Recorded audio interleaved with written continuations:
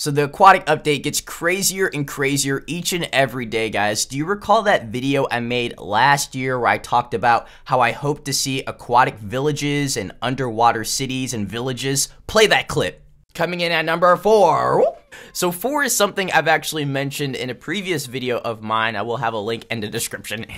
and that is underwater cities. Now, it could be like an underwater village, doesn't matter, but basically an area where villagers dwell below the surface well, it looks like Mojang is actually going to add underwater villages. That's right, guys, villages that are in the ocean. And this is one of the reasons why I enjoy making speculation videos, not only because it's so much fun for me, but just because of the possibilities of everything right now, especially where Minecraft is going. The future is looking so bright right now, guys. So, yes, we're going to be talking about all the details right now. Lady Agnes, she is a developer from Mojang and is currently working on 1.13 the aquatic update, she shared this tweet not too long ago.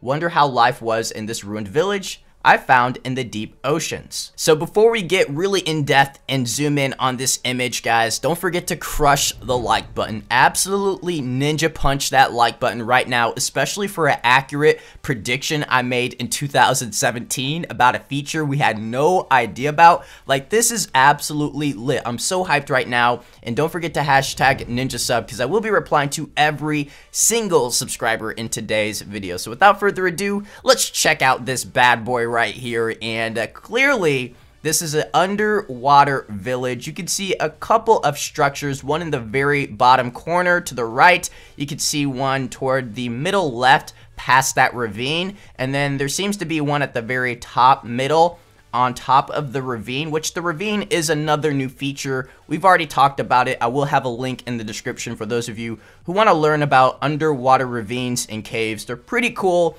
really fascinating things, but today's focus is on these villages. Now, I think the main thing right here is that it's ruined. It's a ruined village, meaning that we're more than likely not going to see villagers in this type of village setting in the ocean. Keep your fingers crossed because we do know we're getting new mobs, but as of right now, this just seems to be a ruined city from ancient civilization from a very long time ago, remnants of a city, of a civilization that existed that currently does not exist anymore. But keep your fingers crossed, like I said, because there is a possibility that we could get underwater villagers or mermaids of some sort, mermen. Um, I'm really looking forward to more mobs being introduced. We do know that we're going to get more mobs in 1.13 and future snapshots. So I'm just really hyped for this, guys. And if you zoom in even further, you can see some of the blocks that currently exist that are being used in these ocean villages, these ruined villages that they're calling it. We could see granite, polished granite, it looks like. We can see cracked stone brick, stone brick, mossy stone brick. So they're using a lot of the blocks that we know and love.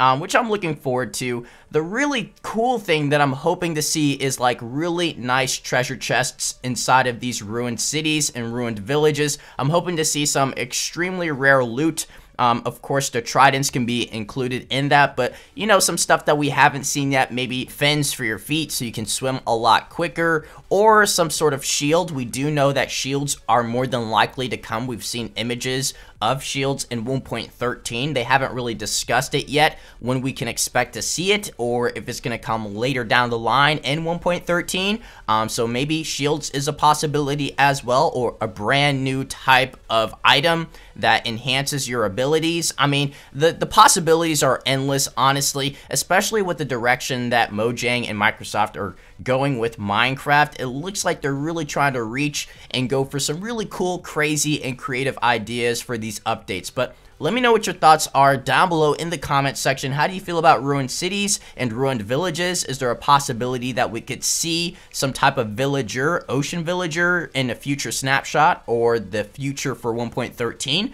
With that said, guys, crush the like button, subscribe, and I'll see you later. Peace. Super!